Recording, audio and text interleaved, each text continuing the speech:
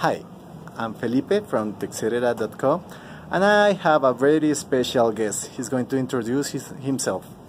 I'm Ross Mistechking. I'm Director of Corporate Sales uh, for Latin America uh, for MediaTek. Uh, MediaTek is a global semiconductor manufacturing company, one of the top uh, five semiconductor manufacturers in the world, uh, with particular emphasis on the mobile business. And uh, I think we're here to talk about MediaTek technology, mobile space, and things of things technological. Totally. So tell me a little bit of, about what ha you have seen in the smartphone industry right now in 2016. What are the trends? Sure. So I think there are two major uh, trends that we need to talk about. One is um, related to communication, specifically in the mobile space. What I mean by communication is the modem side of things. Uh, um, you know, movement of uh, from recently 2G to 3G and now to 4G LTE technology. Um, I think this side of um, mobile space is perhaps less uh, intuitive to the general consumer, but I think all of us realizing now that the carriers uh, are uh, investing heavily into newer communication technology, better um, connectivity, better coverage, better um, quality of service. So whether it's data communication or even now with voice over LTE, you know, high quality audio when you actually talk to somebody and it doesn't sound like a phone anymore. It sounds like yeah. you're talking uh, real life. Uh, real life, right? Um, and I think you know, in, in a not so distant future, we're talking about um, video over LTE, where you know we're actually finally going to have a, a, video communication on your mobile phone without any additional um, applications sitting on top of it. It's basically going to be part of regular phone call. So that's kind of where we are moving. And it's been a great year for MediaTek in terms of the growing uh, our 4G space. Last year we had a fantastic year, 2015, 15, and secured a market share um, in Latin America, in Colombia specifically, in the 3G space. And this year the target has been to continue to progress and grow um, in the LTE space, and we have done that. Um, so today MediaTek has um, uh, around 43%, according to IDC analysts, market share uh, of units sold, meaning mobile handsets sold in, in Colombia in 2016, first half of 2016. 43% of the phones sold in Colombia were based on our um, processors, on our chipsets. Um, the other major trend is probably a lot more visible to the general consumer, and that's things that we get to see. It's multimedia, it's uh, camera features, it's uh, display features, it's gaming, it's uh, artificial, um, augmented reality, virtual reality, Pokemon Go, things like yeah. that. And of course, that comes with the battery consumption. So today, you know, if you look at the what consumers demand is they want great camera, they want fantastic display. In fact, these days the displays on our phones are uh, outpacing the, the, the, TVs that we have at home. You know, we're talking about 2K, 4K displays. Not a lot of us, including myself, have a 4K TV at home, but you know, in the next couple of years, a lot of us are going to have 4K phones in our pocket. So yeah, we, we have seen some uh, initiatives from uh, some of the hardware vendors, but it's not popular yet here. It's not popular yet because it's costly, right? So, uh, but you know, it's a, it's a bit of a chicken and egg thing. Uh, once the market adopts it and it becomes more of a less of a gimmick, less of a high-end feature, less of a you know something for the wealthy. Um, the volume picks up and the market adjusts. You know, that's the beauty of capitalism system, right? If there's a demand, the supply comes, right? And we're seeing that, for example, in Asia. You know, Asia is a China is a, one of the largest market for mobile in the world, right? And they're starting to switch into bigger screens. That's another thing, right? We're going yeah. from you know three and a half inch to four inch, and now five five inches basically the, the minimum, right? And people are looking at five and a half inch and phablets six inches. And frankly, by the time you have a six inch uh, screen with high resolution in your pocket, my children who are teenagers, they no longer watch uh, their content uh, on, on TV. You know, they watch it, you know, in their rooms, which we still don't have TVs in their rooms, but they don't really need it because the, they have a, their iPhone or their Android phone and they have their streaming video and that's it, right? You really don't know what they're watching, which yeah. perhaps is one of the challenges, right? Um, so multimedia, uh, frankly, is MediaTek's strength. Um, the, name MediaTek includes media in it because that's our that's our DNA. That's where we came from, from multimedia, from TV, Blu-ray, DVD space. And so um, when we got into mobile phones, so these were still bar phones. You know, this is five, six, seven, eight years ago, right? They were still basic feature phones, what we call feature phones. Now that we're in the smartphone space, which are no longer phones, they're communication devices, they're entertainment devices, they're lifestyle devices, if you will? The, our strength in multimedia is becoming front and center. So we launched some very interesting technologies, frankly developed in the past for TV and for big screens, onto the smaller screens now. Things like um, we have a technology called uh, MiraVision, which focuses on color reproduction, sharpness, um, saturation, um, power consumption by the display. So all these interesting things related specifically to how to make the visual experience by the consumer as good as possible without hopefully drawing, driving, driving the costs because obviously the easiest way to achieve high quality, high performance is to spend, right?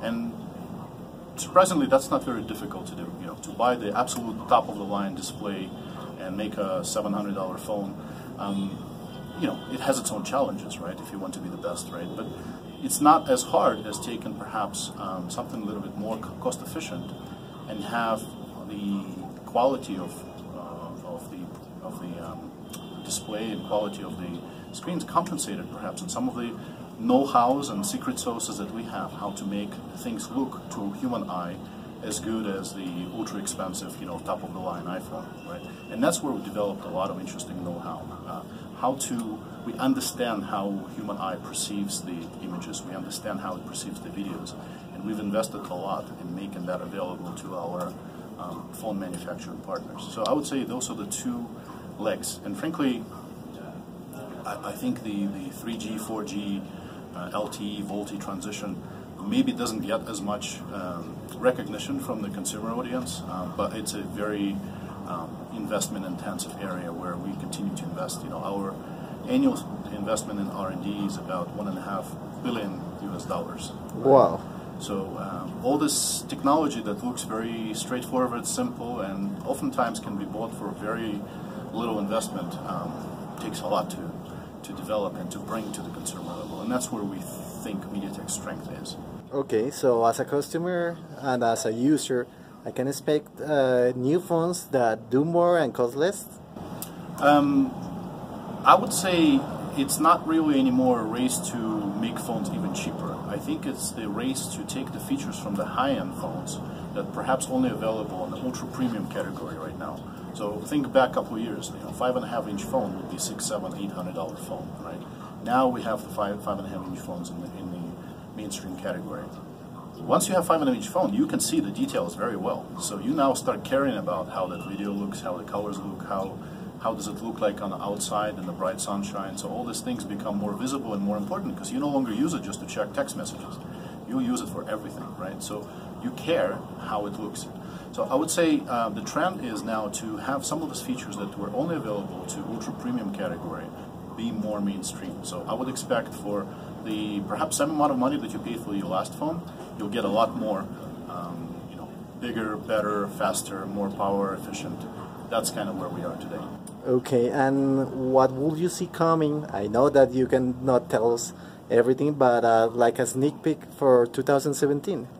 So um, I think the things that uh, are coming to the mainstream now uh, more are this high-end, super super performant processors. You know, we're talking about uh, Deca-Core. Um, MediaTek has developed this Helio line of products. Helio is our premium line of um, chipsets that go now into um, kind of more premium products from you know all kinds of uh, vendors, starting from local vendors like Lanix and uh, Aprix here in here in Colombia to global ones like uh, Lenovo, Motorola and yeah, Asian brands that are coming now, you know, Huawei and, and Meizu's and, Oppo and Vivo, the big global Chinese brands. If you look at the list of the top brands now in the world, you know, three out of five are from China, right?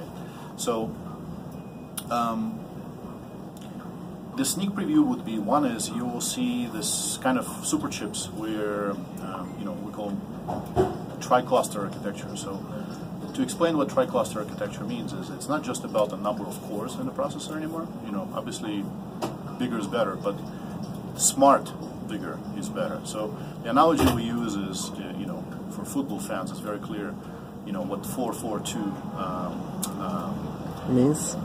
Means right. You have, you know, if defenders, forwards, and everybody has their own function. So in a good team, people are not randomly running around and kicking the ball, right? That's not football. Um, so similarly, when we develop our Deca core, it's a tri-cluster architecture, 442. We have four very small cores, which are extremely power, power efficient. Um, and they run when you have something very small, text messages, or maybe um, you will read in Facebook, but just the text section of it, it's already pre-rendered. We have four medium cores, which work probably most of the time when you do more heavy lifting. And then we have two ultra high-end superpower cores. Um, that basically your strikers, your forwards, right? So these are the ones that you know you scroll your, through your Facebook and they kick in when it sees a video or some kind of complicated rendering, right? And so the idea is why when you have this dedicated, um, optimized uh, resources on your chip, um, you could be very efficient, right? You don't need to run your strikers to defend you only use them, and so they don't run out of breath, and you don't, you know, you don't have to replace them, right? So that's a similar, very similar idea to, to football. Uh, what that translates into is a seamless efficiency. So when you need power, you get power instantly, and when you don't need all this performance, um, the battery doesn't die, right? So this is kind of where we're moving. We call this technology uh, CorePilot. It's not something that the Facebook or the software developer has to worry about. It runs under the hood. So it's all good coaching. If you want to call CorePilot, it's basically the coach behind that says, you guys do this and you guys do that at this moment, right? Um, so that's the CorePilot Deca Core Helio architecture. That's probably one exciting area that we're starting to see. And it's propagating, you know, from premium to mainstream. Um, and we're excited, you know, we're going to uh, announce new product um, for next year, the next generation of this Deca Core with uh, we're adopting the latest semiconductor manufacturing technology in 10 nanometers. That basically means even smaller transistors, even more of them in the same footprint, with the same, hopefully, or better power consumption. So more performance with less power consumption, very highly specialized with good coaching, right? Um, that's probably one thing that we're going to see. And why, why it matters, I mean, if you look at the power consumption, that's one of the biggest bottlenecks now, right? Now that we start seeing things like artificial reality, um, VR, right? That area is, you know, the first thing that sold out in Amazon store when um, Pokemon Go went viral in the United States uh, was the battery packs, right? Totally. Because the phone started to run out of battery in a couple of hours, right? So six months ago, people were saying, yeah, battery consumption is okay. It lasts a day, and I don't need to charge it, and we're getting close to this is good. And then in a matter of a couple of months, no battery packs in the store because people are starting to use artificial reality and uh, sorry, augmented reality. Yeah. And frankly, we are you know it's one game, right? I mean, can you imagine how many millions of developers are sitting right now um, in their offices and trying to come up with the next greatest uh, AR VR application or or blended reality? Correct. That, that's what we call augmented when it's a mix, right? Okay. So. So I think we haven't really scratched the surface in terms of um, the technology that we need really to support this kind of demand, right? So that's one area. Um, we're spending a lot on audio, believe it or not. I mean, for a while the industry forgot that phone is still a phone, right? And now we have uh, VoLTE, uh, voice over LTE, right, where the high quality of sound can be sent. Well, you need to capture it, you need to process it. So, you know, most higher end phones now have uh, dual microphones, right? So they could do uh, noisy environments, uh, cancellation, echo cancellation. This is all digital signal processing.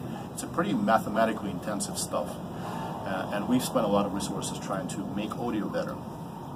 So processing power, battery consumption, um, that's two key areas. The next big thing also seems to be um, com computer learning and computer vision? So no longer you just take a picture, but you want your phone to, well, at the minimum, recognize the faces, right? Yeah. You already start seeing this.